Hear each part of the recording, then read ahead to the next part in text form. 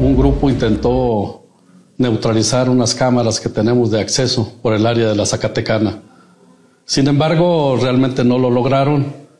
Al hacer la revisión en conjunto con las tres fuerzas de seguridad del ejército, la Guardia Nacional y la Policía Estatal, se analizaron esos videos y vimos hacia dónde se dirigieron después del ataque a las cámaras. Hubo un enfrentamiento ahí en donde hubo un reducido, un masculino reducido con un arma larga, una femenina que estaba con el reducido, pasó detenida y puesta a disposición de las autoridades competentes. También se aseguraron tres vehículos en los que se transportaban.